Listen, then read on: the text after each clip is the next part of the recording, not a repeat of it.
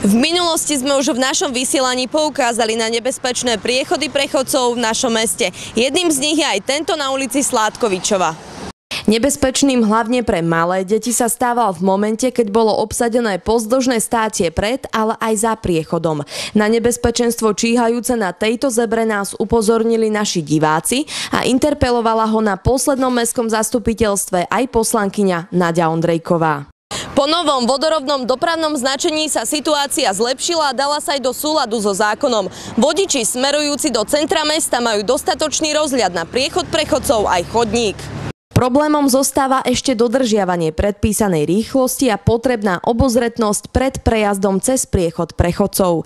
Chodci by mali tiež dbať na bezpečnosť, pretože následky stretu s vozidlom môžu znamenať tragédiu.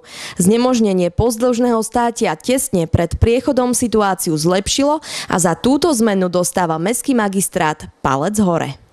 To najlacnejšie riešenie dopravnej situácie je teda naplnené. Pre ešte väčšiu bezpečnosť tohto priechodu prechodcov sa dá, ale samozrejme urobiť aj viac. No riešenia si vyžadujú ešte väčší balíček financií.